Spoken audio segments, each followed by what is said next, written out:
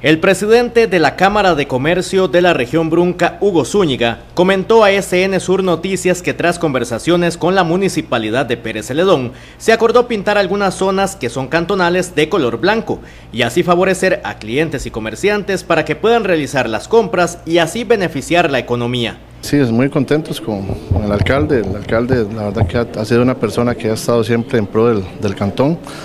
y se llegó a una determinación a través de la Cámara de Comercio poder eh,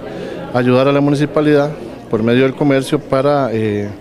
empezar a ver las calles estratégicas que se pueden pintar de blanco para que haya más parqueos y los comerciantes tengan donde parquear los clientes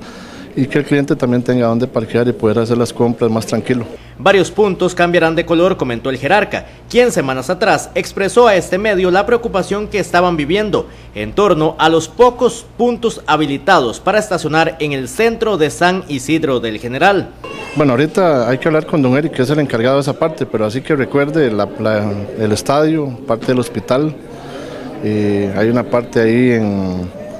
en lo que es eh, por Tracopa, Así que, recuerden este momento, porque eh, ya son criterios técnicos de la municipalidad, pero sí son varios espacios que se van a, ver de blanco, ya no, no verlos de amarillo, que es lo que la gente le asusta venir a comprar al centro de Pérez Celedón. Ya son vías municipales, entonces la, municipalidad tiene potestad para, para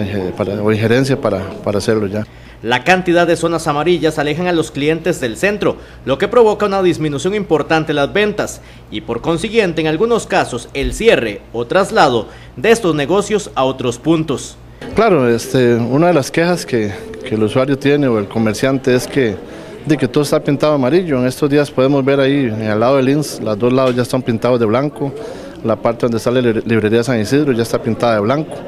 Entonces es cuestión de, de tener un poquito de tiempo, pero la Cámara está dando ese esfuerzo para que la municipalidad nos apoye. Tenemos el apoyo del 100% de la municipalidad, entonces simplemente ponernos de acuerdo y, empezar a ejecutar eso. También se sigue esperando respuestas en el cambio de rutas nacionales a cantonales, variante que sería de gran beneficio, comentó Zúñiga. Y no, todavía no, pero está en proceso y la municipalidad está corriendo con eso. Sabemos que están haciendo el mejor esfuerzo, pero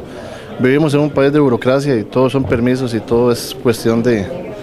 de, voluntad política, que creo que ahorita sí hay voluntad política, entonces es esperar un poquito, pero sí, yo creo que sí se va a dar. La idea es que el comercio tenga un impulso en momentos duros para la economía.